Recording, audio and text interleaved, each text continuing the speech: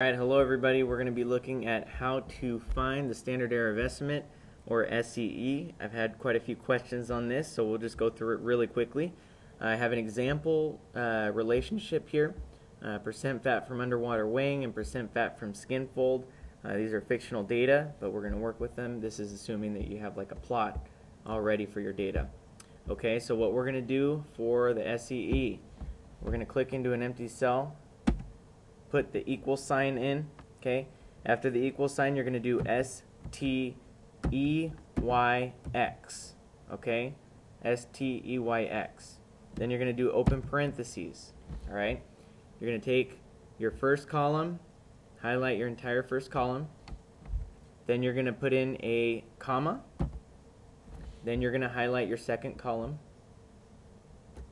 Then you're going to close parenthesis, hit enter, and there you have your SEE.